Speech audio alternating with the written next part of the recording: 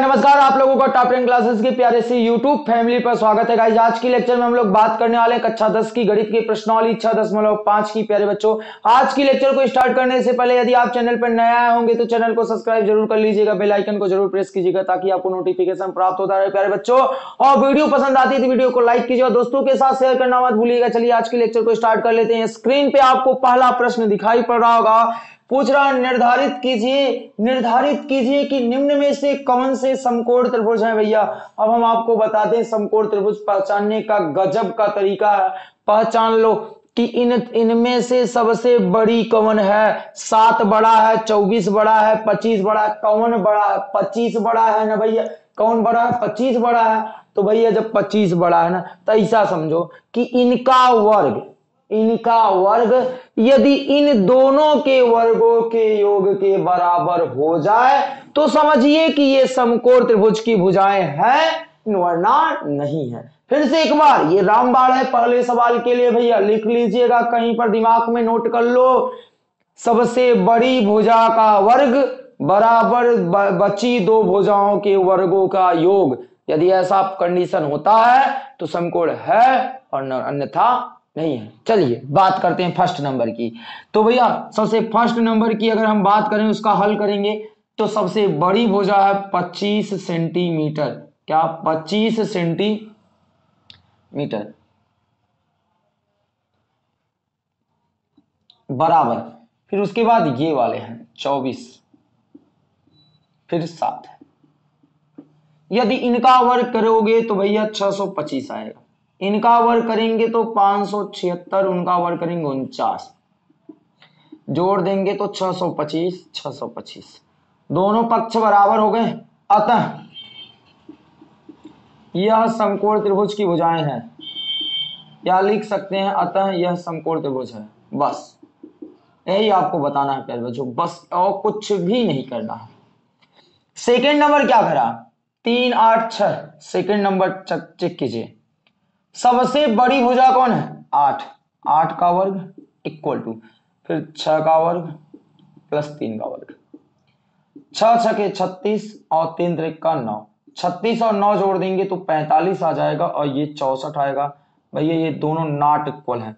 जब दोनों not equal हैं, लिखेंगे, चूँकि दोनों पक्ष बराबर नहीं है, दोनों पक्ष बराबर नहीं है, अतः अतः यह समकोण त्रिभुज नहीं है।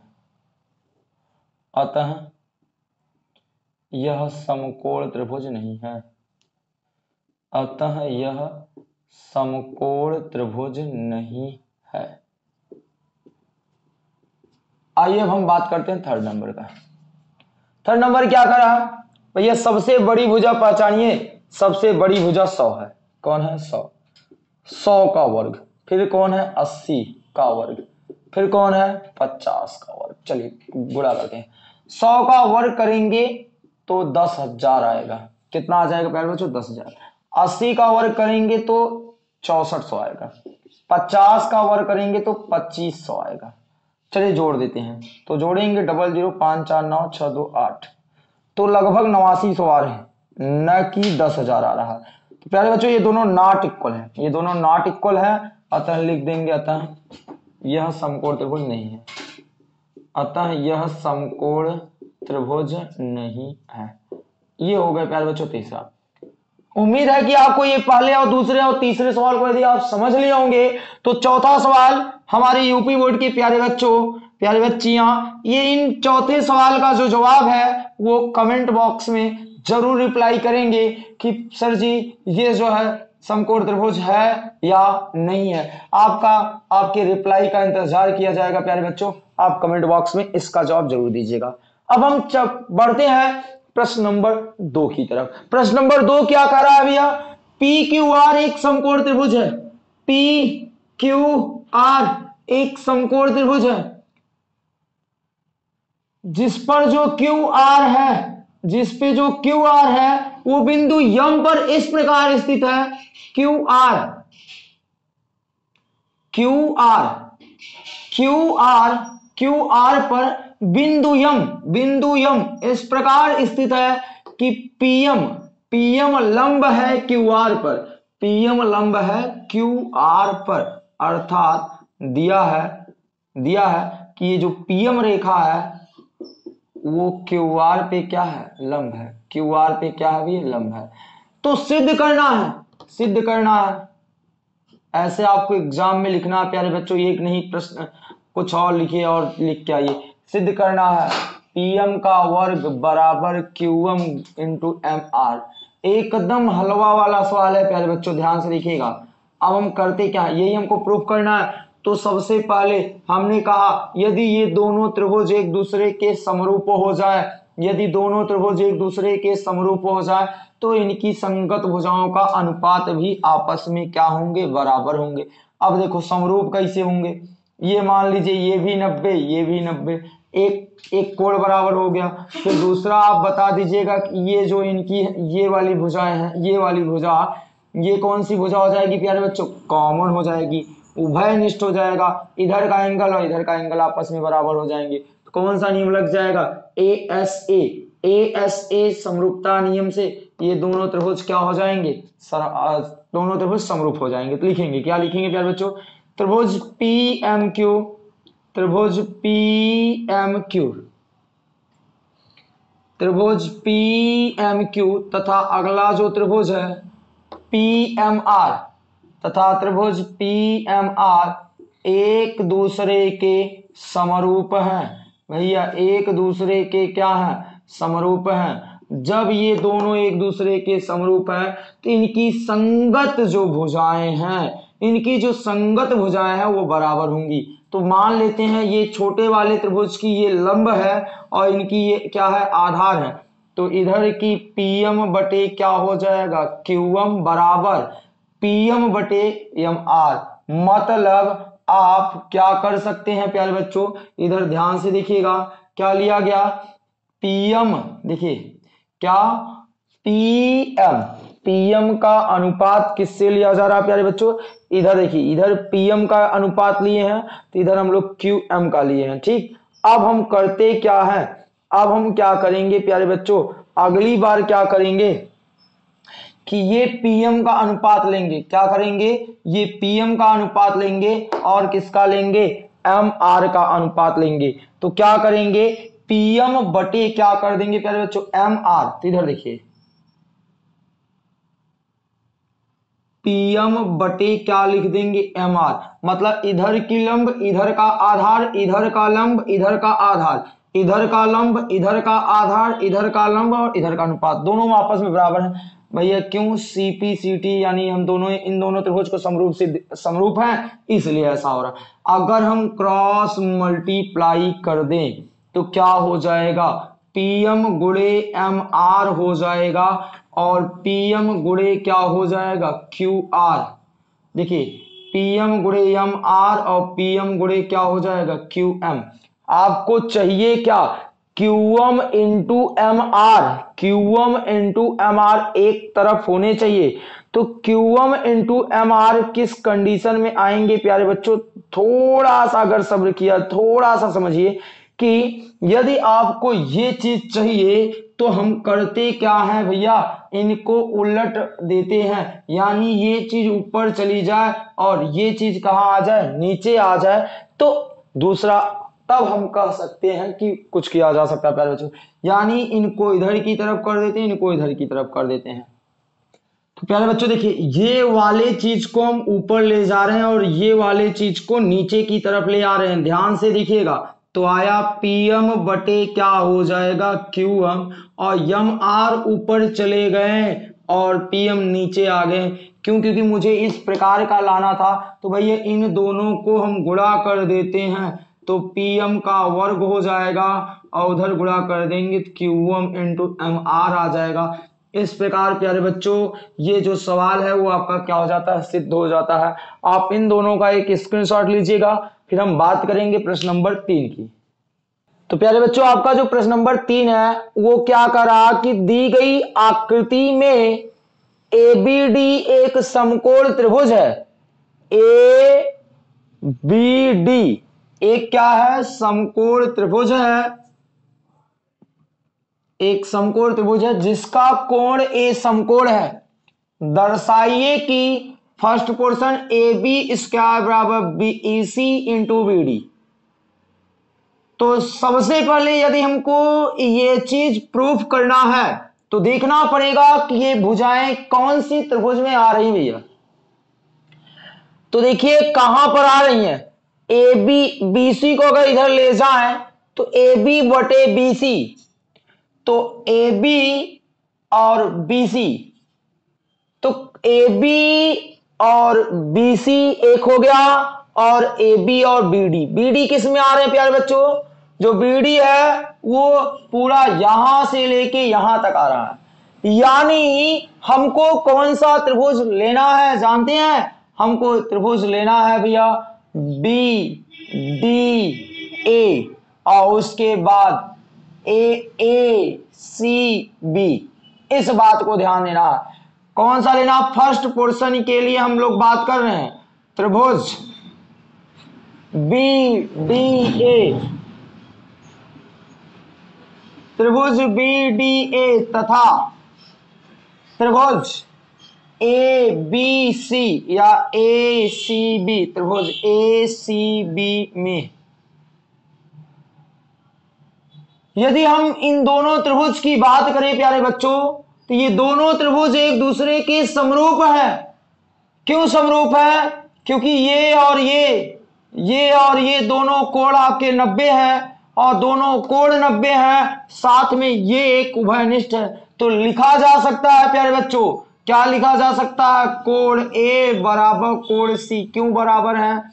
क्योंकि भैया, समकोण है। क्या है? समकोण है। अब आगे हम बात करते हैं। कोण भी दोनों में उभयनिष्ठ है। कोण भी दोनों में क्या है? उभय निष्ठ है। तो हम कौन सा नियम लगा सकते हैं, प्यारे बच्चों?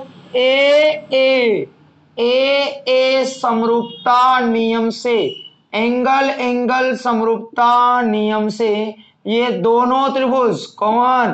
त्रिभुज बी डी ए समरूप है। त्रिभुज ए सी बी के। जब ये समरूप है तो समरूपता का नियम कहता है कि इनकी संगत भुजाओं का अनुपात आपस में बराबर होगा। अब मुझे जो सिद्ध करना है, उस हिसाब से हम संगत अनुपात लेंगे। ध्यान देना, यही तो चालाकी करना है आपको। ए बी का वर्ग मतलब क्रॉस के हिसाब से हमको ए बी लाना, देखिए प्यारे बच्चों, अब सबसे पहले हम क्या लिखते हैं? ए बी ए बी यानी इस त्रिभुज का आधार लिए हैं। बड़े वाले त्रिभुज का और छोटे वाले त्रिभुज, दोनों का आधार लिया गया है। तो ध्यान से देखिएगा अब हम क्या लिखना चाह रहे हैं या क्या लाना चाह रहे हैं, प्यारे बच्चों? ध्यान से देखिएगा। अब हमारा BC into B D BC कहाँ पर है? BC ये है। अर्थात BC आपकी ये है और BD आपकी ये है। BC आपकी ये है, प्यारे बच्चों। BD आपकी ये। तो एक बार हम लिखते हैं। ए बी बटे बी सी ए बी बटे बी सी ध्यान से। ए बी बटे बी सी यानी इस त्रिभुज की ए बी भुजा और इस त्रिभुज की बी सी अब इस त्रिभुज की ए बी और बड़े वाले त्रिभुज की बी डी बराबर होगा बी डी बटे ए बी बी डी बटे ए बी क्रॉस मल्टीप्लाई कर दें ए बी का गुना ए बी से कर देंगे ए बी वर्ग, और इधर बी सी इंटू क्या आ जाएगा? बी डी तो फ़र्स्ट पोर्शन में आपको यही सिद्ध करने के लिए दे रहा है कि ए बी का वर्ग बराबर B C into B D एक बार फिर से मैं आपको समझा रहा हूँ, प्यारे बच्चों, यहाँ पर आपको क्या करना है, जानते हैं? यहाँ पर आपको वो ही भुजाएँ लेनी है जो समरूप सिद्ध, जो आपको यहाँ लाना जैसे ए बी का वर्ग। तो ए बी का वर्ग कब आएगा? जब ये दोनों एक दूसरे के क्रॉस में आएँगे ना तभी तो ए बी ए बी का गुणा करेंगे तो ए बी का वर्ग आएगा। अब तब मैंने किया क्या? एक बार ए बी का अनुपात इससे ले लिया और एक बार ए बी का अनुपात उससे ले लिए। बस, वही किया गया। देखिए, आ गए हैं। अब हम सेकंड पोर्शन की बात करेंगे, प्यारे बच्चे, इसके सेकंड पोर्शन का। सेकंड अब सोचिए कि अब मुझे कौन सा त्रिभुज लेना है? अब बीसी और DC BC और डीसी यानी इन दोनों त्रिभुज को लेके चलना है।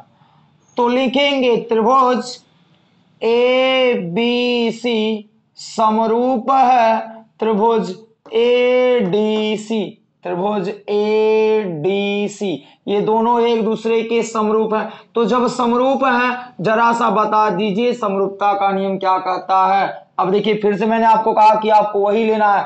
तो ए सी इधर चाहिए बी सी ना तो एक बार ए सी का अनुपात बी सी से, एक बार ए सी का अनुपात सी डी से। तो ए सी बटे बी सी बराबर क्या हो जाएगा प्यारे बच्चों? सी डी बटे ए सी सी डी बटे ए सी क्रॉस मल्टीप्लाई तो ए सी का गुड़ा ए सी से ए सी स्क्वायर बराबर बी सी इंटू क्या आ जाएगा? सी डी ये हो गए आपके सेकंड पोर्शन कंप्लीट अब थर्ड पोर्शन की पारी है। थर्ड पोर्शन क्या करा? एडी का वर्ग बराबर B D into C D अब B D into C D यानी अब हम कौन सा त्रिभुज लेंगे? सोचिए, यानी पूरा बड़ा वाला त्रिभुज लेना है और उसके बाद ये वाला त्रिभुज लेना है। बड़ा वाला, पूरा, यानी त्रिभुज ए डी बी त्रिभुज ए डी बी समरूप है। त्रिभुज ए सी डी त्रिभुज ए सी डी जब ये एक दूसरे के समरूप है तो समरूपता का नियम लगाएँगे। समरूपता का नियम क्या होगा, प्यारे बच्चों? एक बार फिर से ध्यान देखिएगा, ध्यान से देखिए। तो एडी बटे बीडी एडी बटे बीडी एडी का अनुपात हम लेंगे बीडी से। एडी का अनुपात बीडी बराबर क्या हो जाएगा? अब हमको अगली साइड चाहिए सीडी तो सीडी बटे क्या लिख देंगे? एडी सीडी बटे एडी क्रॉस मल्टीप्लाई तो एडी का वर्ग बराबर आ जाएगा। बीडी इंटू क्या हो जाएगा? सीडी तो इस प्रकार प्यारे बच्चों, आपका थर्ड पोर्शन भी कंप्लीट हुआ। एडी का अनुपात बीडी से सीडी का अनुपात एडी एडी से। यानी ये वाली भुजा इससे और पूरी भुजा इससे। तो आपके प्रश्न का आंसर मिल जाएगा। इस प्रकार आप तीसरे प्रश्न को हल कर सकते हैं। अब हम बात कर रहे हैं प्रश्न नंबर चार की। क्या करा ट्रेंगल ए बी सी एक समदिबाह त्रिभुज है? अर्थात भैया ए सी और बी सी बराबर हैं। दिया है। AC जो है, वो BC के क्या है? बराबर है। जिस तथा कोण सी जिसका कोण सी क्या है? समकोण है। कोण C बराबर नब्बे। तो सिद्ध कीजिए। तो सिद्ध करना है। क्या सिद्ध करना है, प्यारे बच्चों? सिद्ध करना है। ए बी का वर्ग। ए बी का वर्ग बराबर टू ए सी का वर्ग। अब बताओ, कोण के सामने वाली भुजा लंब कहलाती है? परंतु परंतु प्यारे बच्चों, ये नब्बे है तो यहाँ लंब नहीं होगा, ये हो जाएगी कर्ण वाली भुजा। और ये एक लंब मान लीजिएगा और एक क्या मान लीजिए आधार तो पाइथागोरस प्रमेय से त्रिभुज ए, सी, बी में पाइथागोरस प्रमेय से, पाइथागोरस प्रमेय से क्या कहता है पाइथागोरस प्रमेय कर्ण का वर्ग, यानी ए बी का वर्ग, बराबर लंब का वर्ग मतलब ए सी का वर्ग प्लस आधार का वर्ग, यानी बी सी का वर्ग।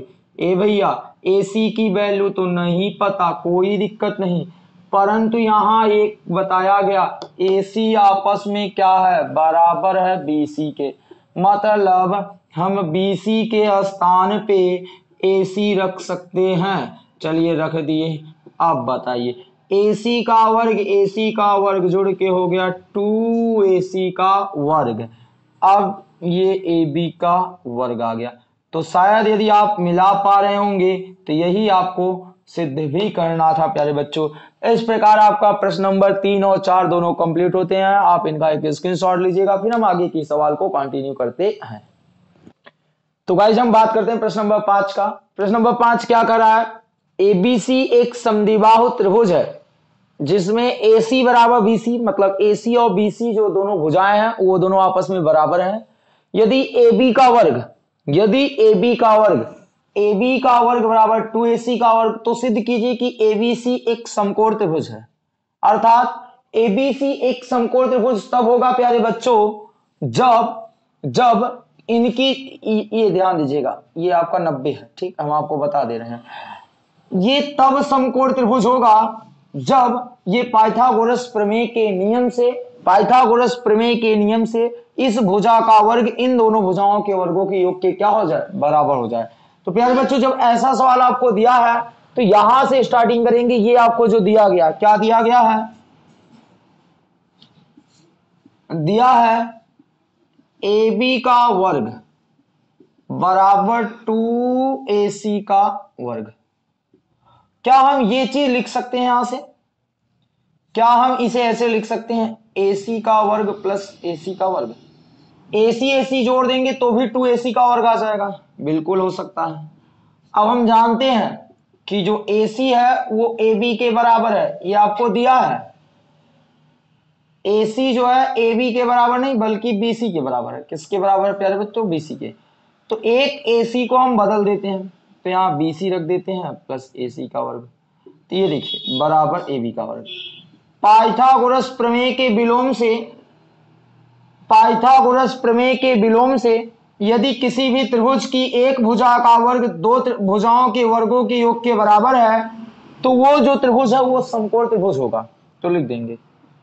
पाइथागोरस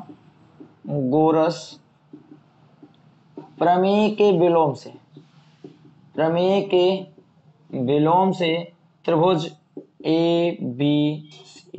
त्रिभुज ए, बी, सी एक समकोण त्रिभुज है। एक समकोण त्रिभुज। ये कंप्लीट हो गया आपके। अब हम बात करेंगे प्रश्न नंबर छ का। प्रश्न नंबर छह क्या कह रहा है? एक संभाव त्रिभुज एबीसी की भुजाएँ टू ए है। मतलब एबीसी संभाव त्रिभुज है। और प्रत्येक की जो भुजाएँ है ना, वो टू ए के बराबर है। Two A two A two A two A सब है। अब कह रहा उसके शीर्ष लंब की लंबाई तो शीर्ष लंब एडी है। शीर्ष लंब क्या है? एडी है। अब शीर्ष लंब एडी बीसी को बराबर भागों में बांट दे रहा चूँकि डी बीसी का मध्य बिंदु है। डी बी सी का क्या है प्यारे बच्चों? मध्य बिंदु है। अब जब डी बी सी का मध्य बिंदु है, अर्थात हम लिख सकते हैं बी डी बराबर। बी डी बराबर एक बटे दो बी सी बी सी की वैल्यू हम रख सकते हैं एक बटे दो टू ए तो दो से दो कैंसिल बराबर ए अर्थात बी डी के स्थान पे हम ए ला सकते हैं। आगे का शीर्ष लंब की लंबाई तो हम त्रिभुज ए डी बी में, समकोण त्रिभुज ए डी बी में, त्रिभुज ए डी बी में, पाइथागोरस प्रमेय से। पाइथागोरस प्रमेय से। पाइथागोरस प्रमेय कहता है कर्ण का वर्ग। कर्ण कौन है? A B. कर्ण का वर्ग ए बी बराबर होता है लंब का वर्ग। लंब कौन है? ए डी प्लस आधार है बी डी वैल्यू रखते हैं। ए बी की वैल्यू कितनी है? टू ए का वर्ग हो जाएगा। ए डी कितना है प्यारे बच्चों? कुछ नहीं, यही तो आपको निकालना है। और बी डी बी डी कितना है? ए का वर्ग। चलिए। दो ए का वर्ग करेंगे तो यहाँ चार ए स्क्वायर आएगा। यहाँ आपका आ जाएगा ए डी का वर्ग। प्लस ये आ जाएगा ए का वर्ग। ये इधर आएँगे तो चार ए माइनस क्या हो जाएगा? ए का वर्ग बराबर आ जाएगा ए डी का वर्ग। चार ए में से घटा देंगे तो तीन ए का वर्ग बराबर आ जाएगा, प्यारे बच्चों ए डी का वर्ग। अब इधर से वर्ग घटाएँगे तो इधर क्या लग जाएगा? करणी लग जाएगा। ठीक? इधर से वर्ग घटाएँगे तो इधर करणी लग जाएगा, तीन ए स्क्वायर बराबर ए डी तो प्यारे बच्चों, ये करणी से ए स्क्वायर करणी से बाहर आ जाएगा तो अंडर रूट तीन ए हो जाएगा, बराबर ए डी ठीक? तो जो शीर्ष लंब की लंबाई है, वो अंडर रूट तीन ए के क्या आ जाएगी? बराबर आ जाएगी। इस प्रकार आपका छठा और पांचवा दोनों कंप्लीट होता है। आप स्क्रीन शॉट लीजिएगा। फिर आगे की क्वेश्चन को कंटिन्यू करते हैं। तो इस बात करते हैं प्रश्न नंबर सात का। क्या कर रहा है? सिद्ध कीजिए कि एक सम चतुर्भुज दिखाया गया आपको सम चतुर्भुज के भुजाओं के वर्गों का योग। अर्थात भुजाओं के वर्गों का योग ये। विकर्णों के योग के बराबर होता है। विकर्णों के वर्ग होना चाहिए था यहाँ पर। विकर्णों के वर्गों के योग के क्या होता है? वर्गों के योग के, वर्गों के योग के बराबर होता है। ये आपको प्रूफ करना है। तो यानी आप सवाल को समझिए। पहले तो सम चतुर्भुज किसे कहते हैं? ऐसे चतुर्भुज जिनकी चारों भुजाएँ समान हो। वो सम चतुर्भुज होता है। तो भैया, सम चतुर्भुज ए बी सी डी दिखाई पड़ रहा है। तो क्या कर रहा है कि जिसमें आपका ए बी बराबर बी सी है बी सी बराबर सी डी है, बराबर डी ए है, यही सम चतुर्भुज की पहचान होती है। अब साथ में कह रहा है कि सिद्ध जो करना है, ये आपको दिया है। जो सिद्ध करना वो चीज़ लिखे हैं हम लोग। सिद्ध करना है। क्या सिद्ध करना है, पता है? ए बी का वर्ग प्लस बी सी का वर्ग प्लस सी डी का वर्ग प्लस डी ए का वर्ग, यानी भुजाओं के वर्गों का योग बराबर, इनके विकर्ण विकर्ण कौन है? ए सी और कौन है भैया? बी डी का वर्ग, यही है। तो प्यारे बच्चों, इतना लंबा सवाल देख के आपको डरना नहीं, विश्वास मानो, एकदम हलवा, एकदम ज़बरदस्त, एकदम मक्खन वाला सवाल है। एकदम ज़बरदस्त आने वाला है। चलिए देखते हैं कैसा आएगा। अब देखिए, मैं आपको बताऊँ, सबसे पहले आप इस वाले त्रिभुज को हल करो, इस वाले को हल करो, इस वाले को हल करो, इस वाले को हल करो, और चारों त्रिभुज को हल करके, चारों त्रिभुज में पाइथागोरस प्रमेय लगा के, चार ठो समीकरण प्राप्त करके चारों को जोड़ दीजिए। ना आ जाए तो बताइएगा मुझे। चलिए, त्रिभुज ए ओ बी में, त्रिभुज ए ओ बी में, त्रिभुज ए ओ बी में। अगर हम त्रिभुज ए की बात करें तो इसमें ए बी आपका बड़ी भुजा ए बी हो जाएगा कर्ण। तो ए बी का वर्ग बराबर होगा। ए बी का वर्ग बराबर क्या हो जाएगा, प्यारे बच्चों? ध्यान से देखिएगा। ए बी का जो वर्ग होगा, वो किसके बराबर होगा? ओ ए प्लस ओ बी का वर्ग ओ ए ओ ए का वर्ग प्लस क्या हो जाएगा? ए बी का वर्ग क्या इतनी बात आपको समझ में आई, प्यारे बच्चों? क्या इतनी बातें आपको समझ में आई है? एक मिनट के लिए आप क्वेश्चन को मिला सकते हैं। क्या आपके क्वेश्चन यही कर रहे हैं?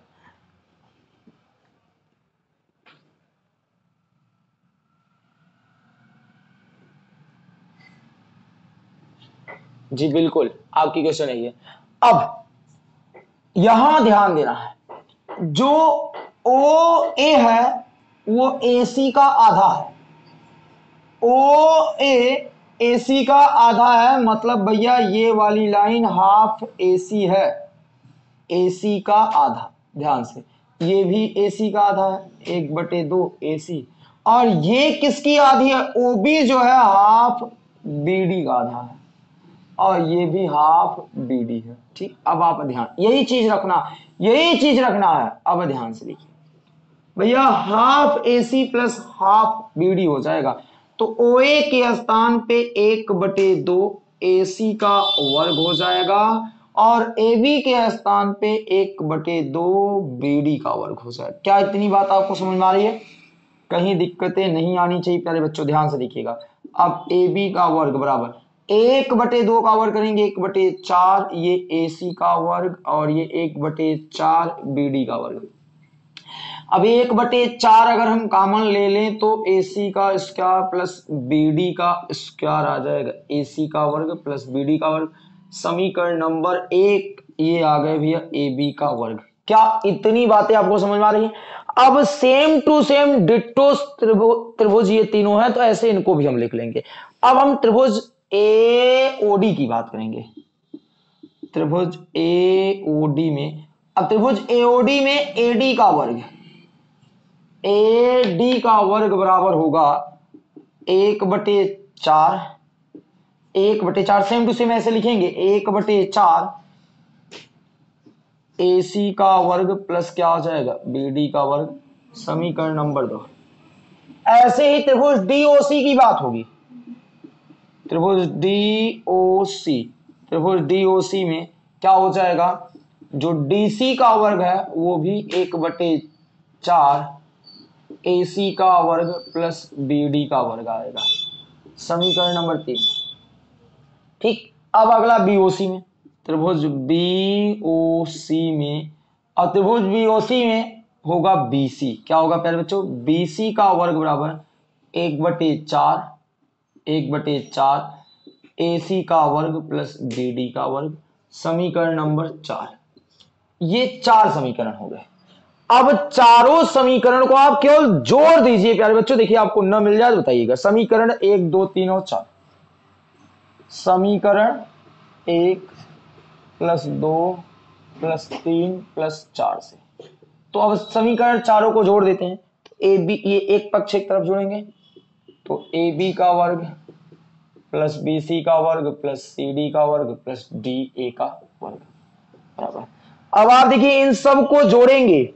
इन सबको जोड़ेंगे तो सब कुछ एक ही चीज़ है। एक बटे चार, एक बटे चार, एक बटे चार, एक बटे चार। तो एक बटे चार, एक बटे चार, दो बटे चार, फिर तीन बटे चार चार बटे चार। यानी सबको प्लस करोगे तो चार बटे चार ए सी का वर्ग प्लस क्या आ जाएगा? बी डी का वर्ग। भैया, ये कैंसिल हो जाएगा। तो ए बी का वर्ग प्लस बी सी का वर्ग प्लस सी डी का वर्ग प्लस डी ए का वर्ग बराबर ए सी का वर्ग प्लस बी डी का वर्ग। शायद जो आपको प्रूफ करना था, वो आपने प्राप्त कर लिया, प्यारे बच्चों। देखिए, कितना गजब मक्खन के जैसा सवाल आया है। देख लीजिए, आप इसका एक स्क्रीनशॉट लीजिएगा और कहीं भी कोई डाउट हो रहा होगा ना तो कमेंट सेशन में कमेंट ज़रूर कीजिएगा कि, सर जी, मुझे ये चीज़ नहीं समझ में आई है। तो हम उसका जवाब, यानी उसको आपको समझाने का प्रयास ज़रूर करेंगे, प्यारे बच्चों। अब आगे की सवाल को कंटिन्यू करते हैं, प्रश्न नंबर आठ की। तो बच्चों, बात करते हैं आठ नंबर प्रश्न का। क्या करा आकृति में त्रिभुज एबीसी के अभ्यंतर। त्रिभुज एबीसी के अभ्यंतर स्थित कोई बिंदु ओ है।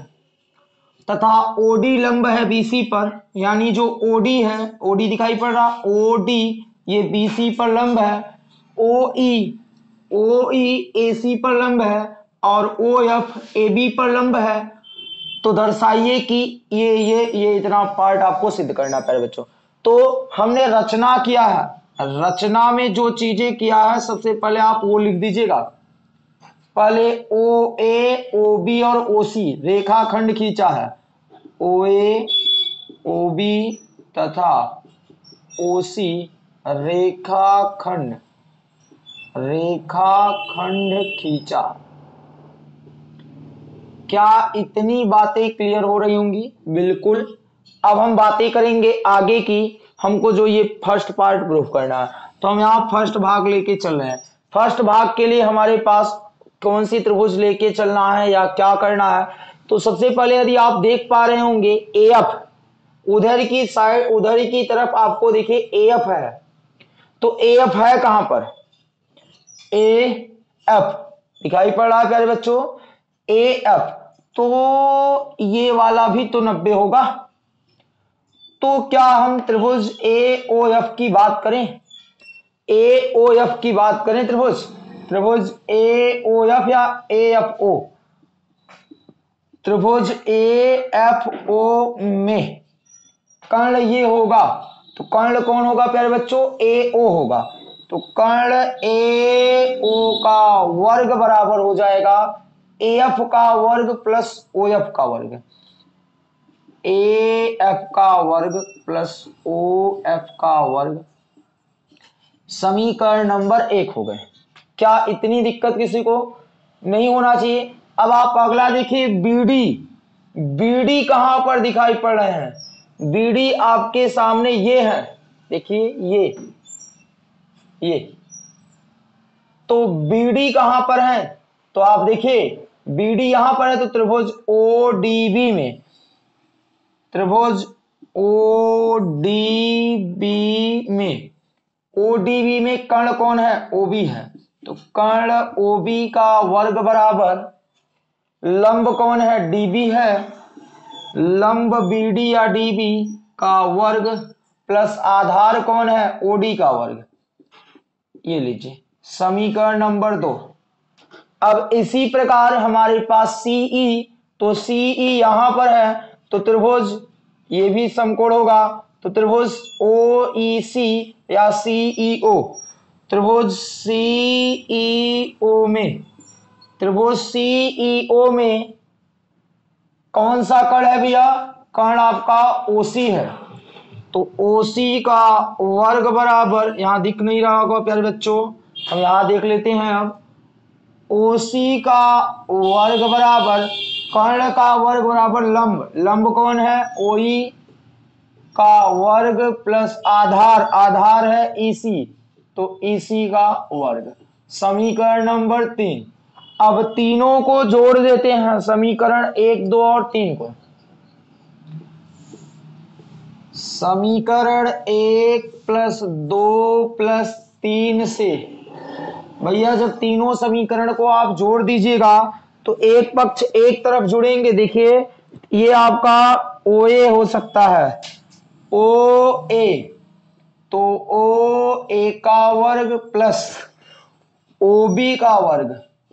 ओ बी का वर्ग प्लस कौन आ जाएगा? ओ सी का वर्ग, बराबर। अब इधर वाले पक्ष को जोड़िए आप लोग। ए एफ़ का वर्ग प्लस ओ एफ़ आ जाएँगे। ओ एफ़ का वर्ग प्लस।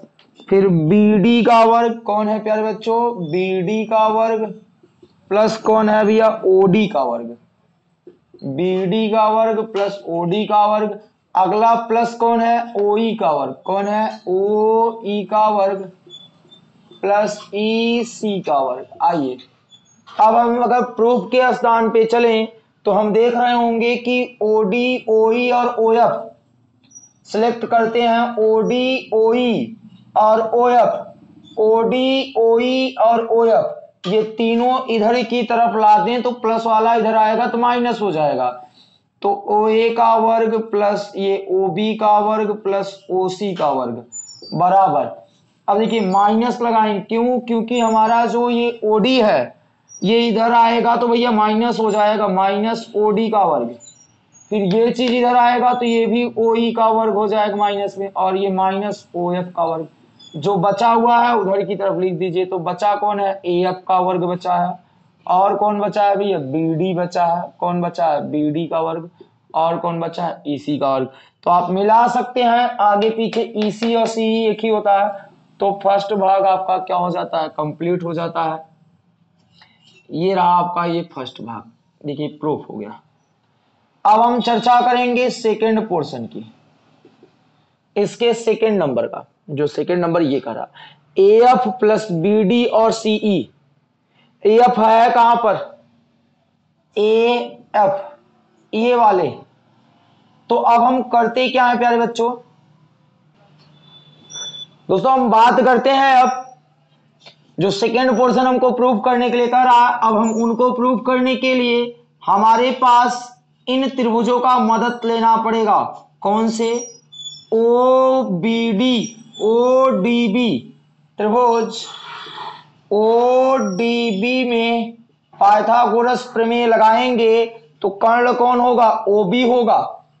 कर्ण ओ बी का वर्ग बराबर लंब है बी डी तो बी डी का वर्ग प्लस आधार कौन है भैया?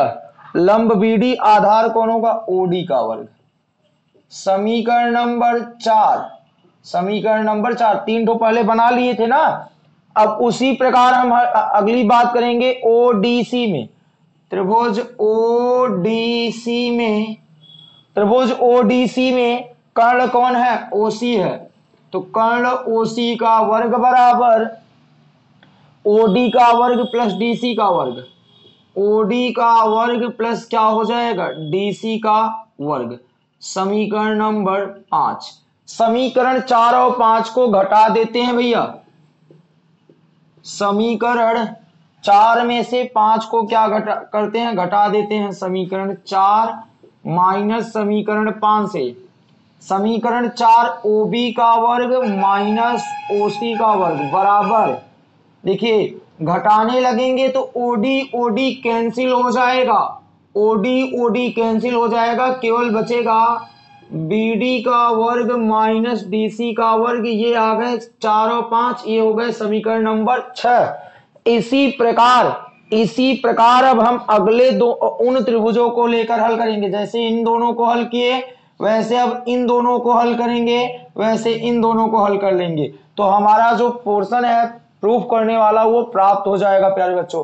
अब इसी प्रकार हम इसी प्रकार। तो भाई जिस प्रकार आपने ये चीज़ निकाला है ओबी का वर्ग माइनस ओसी का वर्ग बराबर बीडी का वर्ग माइनस डीसी का वर्ग, इसी प्रकार हम इन दोनों त्रिभुज कॉल करेंगे और इन दोनों त्रिभुज को। तो भैया, अब हम लिखेंगे इसी प्रकार। क्या लिखेंगे? इसी प्रकार। त्रिभुज ए ओ एफ़ में त्रिभुज ए, ओ, एफ़ तथा अगला त्रिभुज बी, ओ, एफ़ में। अगला त्रिभुज बी, ओ, एफ़ में। आइए, अब जो चीज़ें लिखना हम इधर की तरफ़ लिखेंगे, उधर की तरफ़। अब बात करते हैं। अब देखिए, जैसे आपने क्या किया कि इन दोनों को माइनस किए थे तो जो सेम चीज़ था, वो कैंसिल हो गया था। ओडी ओडी उसी प्रकार ओडी उन दोनों त्रिभुज में उभयनिष्ठ था। ओडी यहाँ भी था, ओडी यहाँ भी था। इसलिए ओडी उभयनिष्ठ। था तो भैया, इन दोनों त्रिभुज में ओ एफ़ उभयनिष्ठ है। ओ एफ़ तो आने वाला नहीं है। अब कौन आएगा, वो आप ध्यान दीजिए। कर्ण कौन है? ओ ए है और ओ बी है। तो हो जाएगा ओ ए का वर्ग माइनस ओ बी का वर्ग बराबर क्या हो जाएगा? ए एफ़ का वर्ग माइनस एफ़ बी का वर्ग। ए एफ़ का वर्ग माइनस एफ़ बी का वर्ग समीकरण नंबर छह बना लिए हैं, सात बना लीजिएगा, ठीक? अब इसी प्रकार हम इस त्रिभुज की बात करेंगे एओई इसी प्रकार त्रिभुज एओई तथा त्रिभुज सी ओ में। त्रिभुज सी ओ में। अब ए ओ और सी ओ में अगर हम देख पा रहे होंगे तो ओ ई उभयनिष्ठ तो ये आएगा ही नहीं। कर्ण कौन है? ओ ए और ओ सी तो ओ ए का वर्ग माइनस ओ सी का वर्ग बराबर क्या हो जाएगा? ध्यान से देखिएगा। ओ ए का वर्ग माइनस ओ सी का वर्ग बराबर हो जाएगा। ए का वर्ग माइनस ईसी का वर्ग। ए का वर्ग माइनस ईसी का वर्ग। समीकरण नंबर आठ। ठीक?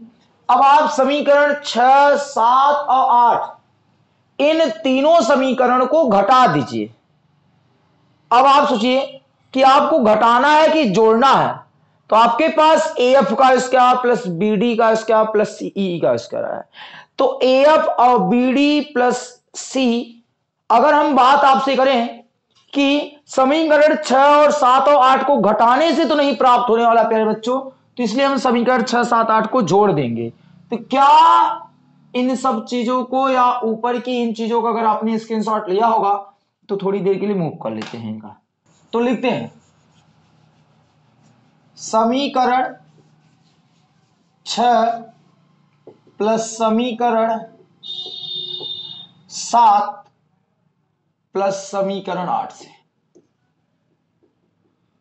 ठीक अब समीकरण छ क्या है? ये देखिए।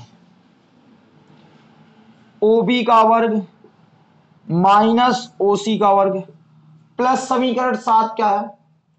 ओ ए का वर्ग माइनस ओ बी का वर्ग। समीकरण आठ क्या है? ओ ए का वर्ग माइनस ओ सी का वर्ग। बराबर। अब इधर वाले पक्ष को जोड़िए। बी डी का वर्ग माइनस डी सी का वर्ग। वहाँ हो जाएगा प्लस ए एफ़ का वर्ग। माइनस एफ़ बी का वर्ग। फिर क्या है? प्लस ए का वर्ग माइनस ई सी का वर्ग। ठीक, दोनों पक्ष आपने लिख लिया और जोड़ दिए।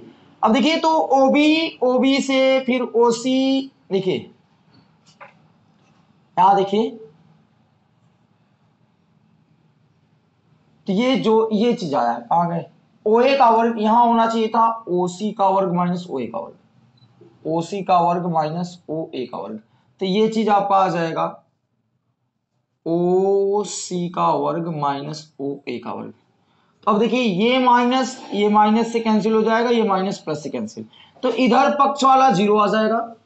अब उधर आपके सामने बचा है बी डी का वर्ग माइनस डी सी का वर्ग प्लस ए एफ़ का वर्ग। माइनस क्या हो जाएगा? एफ़ बी का वर्ग प्लस ए का वर्ग माइनस ई सी का वर्ग। अब जो चीज़ इधर माइनस है, माइनस वाले को इधर कर दीजिए, प्लस हो जाएगा और प्लस वाला उधर ही रहने दीजिए। तो आप देखिए, प्लस वाला आपके पास क्या क्या है? ए एफ़ बी डी और CE A F B D दिख रहा है। और सीई तो प्यारे बच्चों सीई आपका यहाँ पर माइनस है। तो हम इनको पलट सकते हैं। इनको इधर कर सकते हैं, इनको इधर कर सकते हैं। अर्थात हम कह दे ऐसे लिखा जा सकता है इसको। सी का वर्ग माइनस ए ई का वर्ग, ये चीज़ लिखा जा सकता है। बिल्कुल लिख सकते हैं आप। इनको बदल के आप लिख सकते हैं सी का वर्ग माइनस ए का वर्ग, क्योंकि हमको वो प्रूफ करना है। और वो चीज़ आप लिख सकते हो। तो यहाँ हो जाएगा सी का वर्ग माइनस ई का वर्ग, क्योंकि अभी आपने इसको चेंज किया था ना तो इसीलिए। तो सी ई का वर्ग माइनस ए ई का वर्ग। अब देखिए। अब क्या करेंगे? माइनस वाले पोर्शन को इधर की तरफ़ लाइए तो इधर आएगा तो ये डी सी का वर्ग होगा। ये आएगा तो एफ़ बी का वर्ग होगा। वो चीज़ आएगा तो ए का वर्ग होगा। बराबर इधर बचेगा। बी डी का वर्ग प्लस ए एफ़ का वर्ग प्लस सी ई का वर्ग। और प्यारे बच्चों, इस प्रकार आपका ये जो सेकंड प्रश्न है, इसका ये कंप्लीट होता है। और ये रहा आपका आठवां नंबर पूर्ण रूप से कंप्लीट प्रश्न। तो गाइज़ आज की लेक्चर में हम लोग केवल यहीं तक बात करेंगे और इस अध्याय का जो बचा हुआ प्रश्न है, वो हम नेक्स्ट वीडियो में बात करने वाले प्यारे बच्चों। तब तक के लिए आप इन आठ सवालों का अभ्यास जम के कीजिएगा। अगर कहीं भी कोई डाउट आता है तो आप कमेंट बॉक्स में कमेंट ज़रूर कीजिएगा, प्यारे बच्चों। मिलते हैं आपको नेक्स्ट वीडियो में। तब तक के लिए वीडियो देखिए एंजॉय कीजिए, प्यारे बच्चों। Thank you all dear student thank you